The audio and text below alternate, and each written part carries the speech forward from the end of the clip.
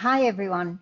Would you like leaders of your organization to have a behavioral operating system that they default to each and every day? One that would have them doing what they say they will do, walking the talk of shared values and shared visions, one that will have them influencing others to find new ways to change things up and helping others along the the pathway to that in order to serve customers in a way that encourages higher levels of service, more engagement, more business, and even increased bottom line? Well, there's good news. In this short video, that's exactly what I'll be taking you through. I'll be taking you through what I've done with the system, the same system that we call the five practices of exemplary leadership that we've used with many, many other corporate organisations. We've implemented the five practices of exemplary leadership across hundreds of organisations in Australia, Asia, Middle East, Europe, UK, and even the US. And the results are always great. Some people enter this whole gateway, you could say, through a workshop. Others come through the LPI, which is a psychometric, psychometric instrument, as the gateway, and others enter the five practices of exemplary leadership through an organisation wide change initiative, such as our Unified Leadership Proposition. It doesn't really matter which way you enter and get to know the five practices of exemplary leadership. What's more important for me is that it's always simple to use. It's simple for leaders to adopt. It simply correlates. You can always see evidence of the correlation between the actions and the results. And in my humble opinion, it really stands apart from any other leadership system that I know of. And that's why our clients continue to seek to implement it and help us advertise it too. So, hi, I'm Debbie, Debbie Nicol. I'm a certified master of the five practices of exemplary leadership, and I'm also the managing director and founder of a business called Business en Motion. And no surprises, our origin story is the reason we exist. Because when I was going through my career, all I saw in leaders were was separation, ego, competitiveness, disinterest, um, just driving the status quo every day. And I was being left behind. I didn't want to live or work in that world. So that led me to my entrepreneurial track and working with global leadership. I connected with the five practices of exemplary leadership, and I'm now up to probably 12 years of investment with this globally reputed methodology. Why?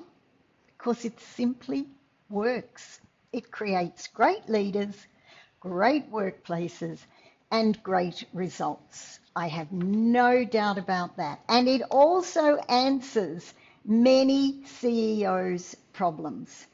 You know, CEOs need leaders who take people together to a new world, new way of operating in order to keep the, the customers' needs catered for and the shareholder targets provided for. Yet, many CEOs have become baffled by science and many attempts to introduce leadership into the organisation fails. You know, I often hear them say, look, it, it's just too hard, or it takes too much time, or I didn't know that leadership correlates to increases in performance. Yet, I've never heard those complaints or barriers or objections from anyone who has engaged with the five practices. So, what is so special in the story of the five practices. Because what I love, first of all, is there's an invisible red thread between the five practices that as you progress through, the engagement and the trust grows. And once we've got commonality and sharedness, that's going to have a direct impact on results too. So, what's the story? Well, it starts at the very beginning where leaders model the way. They need to get to know their own voice, who they are, what do they stand for, what are their values. Because once people see you consistently being who you are, get to know you, like you, and trust you. And the same goes the other way when you recognize your people's voices. And eventually, those values, there'll be commonality, there'll be things that bind us together. So now that we know, like, and trust the leader, most people are then willing to consider where the leader wants to take them. And that would be a picture of a future that's bigger, better, brighter, more efficient, more effective, more easy, whatever it is. But if we've done the connection correct in the first place in modelling the way, then people will not only just consider, but they'll find a connection between themselves, their own future, and the vision, and they'll start sharing the new vision and building it together. So it becomes bigger than the original leader's vision and it becomes our vision. So now that they know you, like you, trust you, and have bought into where you see you'd like to take them, and they have also extended the story, they're very happy to then go up that mountain. Remember, they're standing at the bottom of this huge mountain looking up to a new destination that they've never been to before. And to do that, it's going to require them to challenge the process, find new ways, take new risks. You know, there's no path up that mountain. Probably make mistakes along the way, but those mistakes will be great opportunities for learning and also great opportunities for small wins along the way. And as we are challenging the process and getting organisational change, there'll also be individual change happening because there'll be people who'll be needing a hand. They will be enabled through increased competency, confidence, and collaboration. Because to get to that new destination, whether it's a new IT infrastructure, whether it's a new operating culture, whether it's a merger, acquisition, whatever it is, it's never easy. And leaders don't act on their own, but it really helps to have lots of encouragement. And encouraging the heart is where that community spirit, as well as individual excellence, is recognised and appreciated. That story gets a lot of people excited.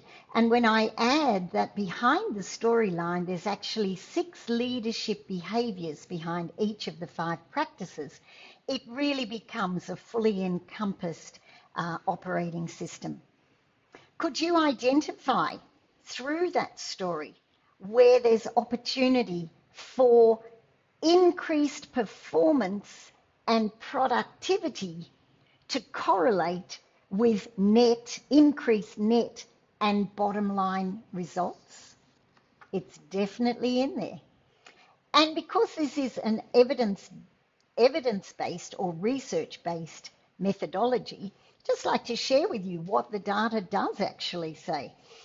Across 94 different organisations, researchers found that a company's net income growth and stock price performance over a 10 year period were significantly correlated with the extent to which individual contributors or frontline employees reported that their senior leaders engaged with the five practices actual bottom line marketplace results stemmed from how their leaders behaved and in turn how their constituents or their followers performed. In other words, great leadership does create great workplaces that does produce great results. I hope you're as excited as I am and wish to now schedule a 30 minute time slot with me. We call it the 30 minute five practices leadership system audit. And what we're going to achieve in that, over on the left in the beginning, we're going to see where your organisation aligns to the five practices leadership system. We're then going to, along the way, you will take away probably three suggestions where you might be able to implement straight away, immediate actions to implement. And together we will be considering if your organisation is really a good fit for the five practices. Yeah, those five practices of exemplary leadership and also increase business performance that it will produce. So look down at the bottom of the page, you'll see that big yellow button.